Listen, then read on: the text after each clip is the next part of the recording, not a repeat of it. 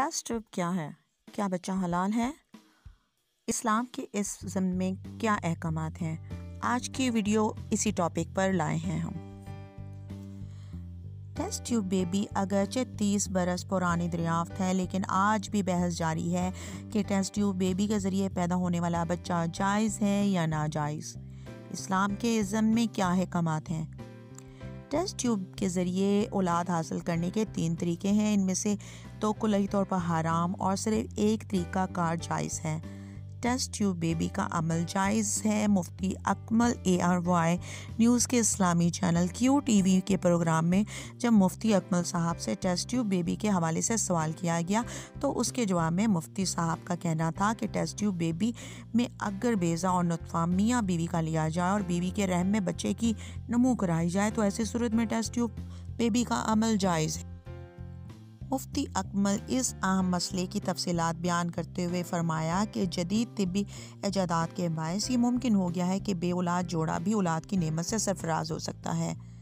ताहम इस हवाले से शरीयत की रहनमाई हासिल करना भी बहुत ज़रूरी है। पहला तरीका मुफ्ती अकमल साहब ने फरमाया कि टेस्ट ट्यूब बेबी के तीन तरीके मुस्तमिल हैं। पहले तरीके में बे औलाद जोड़े का बेज़ा और नुतफ़ा लेकर बाबर कराया जाता है और फिर बाबर नुतफ़े को माँ के रहम में मुंतकिल कर दिया जाता है। बच्चे की नमो कुदरती तरीके से जारी रहती है और मुकर वक्त में बच्चे की पैदाइश अमल में लाई जाती है। ये अमल जायज़ है। दूसरा तरीका दूसरे तरीके में नुतफ़े या बेज़ा किसी और जोड़े से लिया जाता है और उसे बावर करा के मजकूरा ख़तून के रहम में मुंतकिल कर दिया जाता है, जहाँ वह नौ महीने मुकम्मल करने के बाद पैदाइश के मरहले से गुजरता है। तीसरा तरीका, इसी तरह तीसरे तरीके में भी बीवी और शौहर के बेजे और नुतफ़े को बावर करा के किसी दूसरी खातून के रहम में मुंतकिल कर दिया जाता है, जहाँ वह नमो के मराहल तय करता है।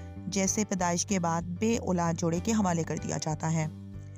मुफ्ती अकमल साहब का कहना था कि शरीयत के मुताबिक टेस्ट ट्यूब बेबी की दूसरी और तीसरी सूरत किसी भी तरह जायज़ नहीं।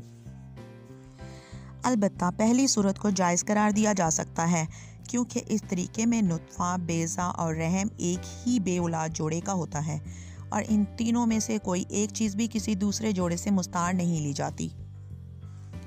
इसके बरक्स दीगर दोनों तरीके, तरीक़ों में बेजान नुतफ़ा और रहम में से कोई एक चीज़ किसी दूसरे जोड़े से मुस्तार ली जाती है, जिसके बायस वरासत के मसाइल जन्म ले सकते हैं, जबकि कई बीमारियों की मुंतकली का भी अहतमाल रहता है। वफाकई शरी अदालत ने टेस्ट ट्यूब बेबी को जायज़ करार दे दिया। वाज रहे कि टेस्ट ट्यूब बेबी के अमल को पाकिस्तान की वफाकी शरी कोर्ट जायज़ करार दे चुकी है। ताहम अदालत ने भी सिर्फ़ पहले तरीके को जायज़ करार दिया है बकिया दोनों तरीक़ाकार अदालत के नज़दीक शरीयत की रूह से हराम है।